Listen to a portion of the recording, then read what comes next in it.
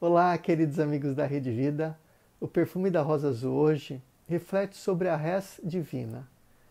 Para o filósofo racionalista Descartes, o universo é constituído de dois elementos fundamentais: res cogitans, que é o espírito, a substância pensante, imperfeita, finita e dependente, a inteligência, e a rex extensa, que é a matéria, a substância que não pensa, extensa, imperfeita, finita e dependente.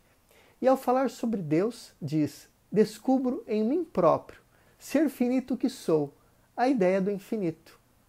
Como não posso ser autor dessa ideia, é necessário que o autor seja Deus e que, portanto, ele exista.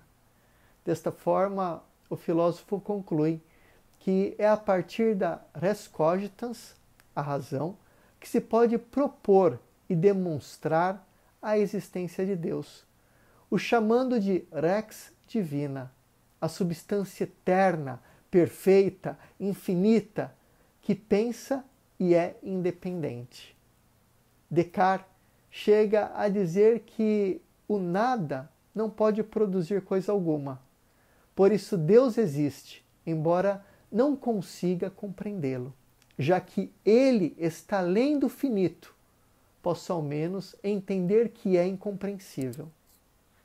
Como afirma o filósofo Guerol, eu jamais poderia esgotar o infinito, possuir dele um conhecimento adequado, completo, de modo a conhecer o infinito como ele é.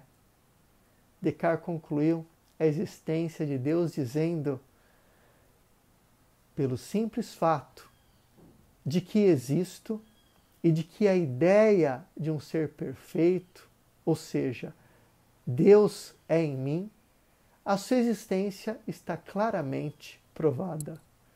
Professor Fernando Tadeu, para a Rede Vida. Juntos para olhar além. Tchau, tchau.